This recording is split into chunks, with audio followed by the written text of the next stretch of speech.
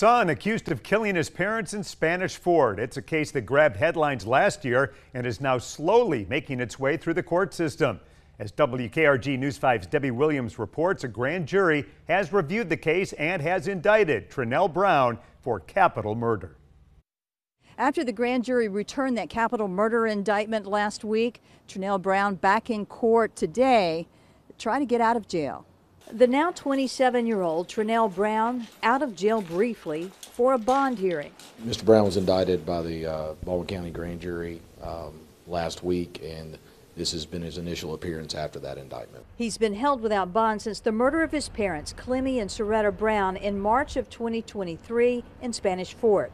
Investigators say at least 15 rounds from an AR 15 was fired inside the home the couple shot multiple times. Brown's daughter, who was four at the time, witnessed the shooting.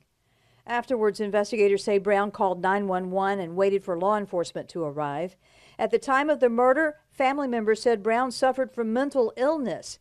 An evaluation of his mental health is expected. There has not been one done at this point. Um, I anticipate that probably being done sometime in the future, though. In the meantime, Brown's defense team asked for more time to provide a written response in reference to a bond being set, sending Brown back to the Baldwin County Jail until his next court appearance. Brown expected to be back in court next month for an arraignment where he will enter a plea of guilty or not guilty to killing his parents. On the Baldwin County Beat in Bay Minette, Debbie Williams, WKRG, News 5.